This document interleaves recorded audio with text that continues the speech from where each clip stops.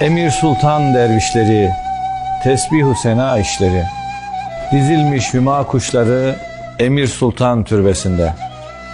Yunus Emre söyler sözü, aşık olmuş gönül gözü. Unutman duadan bizi Emir Sultan türbesinde.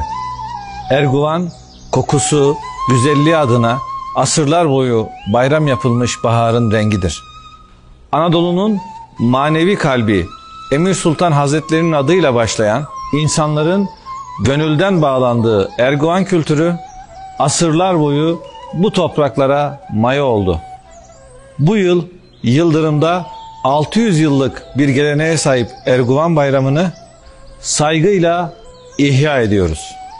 İçindeki Allah ve peygamber aşkıyla insanlığın gönlüne rehber olan Emir Sultan Hazretlerini ve dervişlerini yad ediyoruz.